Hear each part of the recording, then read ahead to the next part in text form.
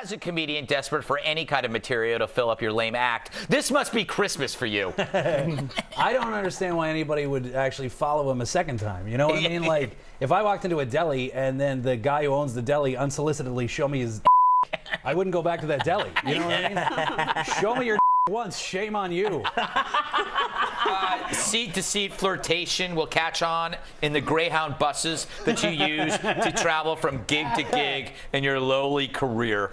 Well, it already happens, you know. I mean, there was one time recently I was taking a Greyhound bus and uh, and uh, uh, somebody from the front sent me a, uh, a jar of hot urine. And, it was really, and so I was like, "Who is this mysterious person who sent this to me?" And uh, it turns out he was a really nice guy. Yes. I just want to address something real fast. Uh, uh, uh, Ambassador Bolton acted very shocked and surprised when Bill mentioned cocaine, like he had no idea what was going on. But folks, that's not a mustache.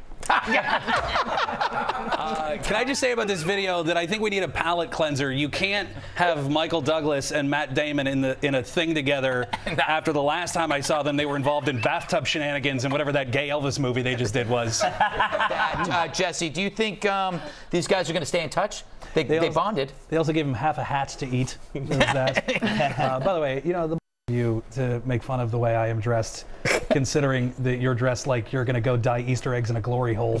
Um, I don't I don't even know what say that means. TV. I don't either, but that's I don't think really you say that foul. on TV. It was a Springsteen song, Glory. Hole. That was good.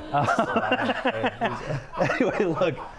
If there's if there's one thing that can be said about wedding dress wearing, thrice divorced, drunk driving convict, and three times spousal abuser and drug addict Dennis Rodman, it's that he has fantastic judgment. Yes. Jesse, couldn't this destroy a marriage? Oh, totally. It's going to be awful. You know, they're going to have conversations like, no, look, I don't want you to do a routine airlock biohazard waste dump. I want you to want to do a routine airlock biohazard waste dump. Yeah.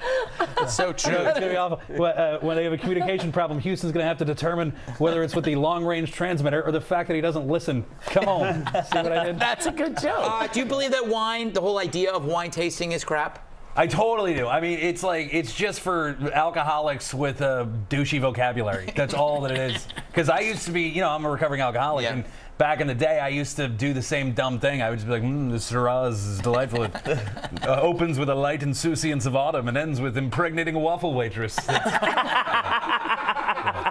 If only it did. Robust and whimsical, It goes great with salmon and fistfights with state troopers. I'd like to start off with uh, Tucker. And uh, Tucker, I just wanted to say that uh, the last time you were on, you'd made some comment about my shirt, and so did. then I fired back and said that you looked like a middle-aged Dennis the Menace if he'd grown up to be a gay dentist. and uh, I just wanted to come on tonight and uh, remind everyone how funny that was. I think you've been at Maxim too long. I don't think that would be as sexy as you're imagining it to be. No, let's watch a rerun of According to Jim instead. I mean, what would be more, what would be more entertaining? I don't know. You know, what I in think the first it- season. Uh, Okay. well, No, what I think is interesting about According to Jim is that the title is vaguely biblical, yes. but the existence of the show is proof that there's no God. I think that's interesting.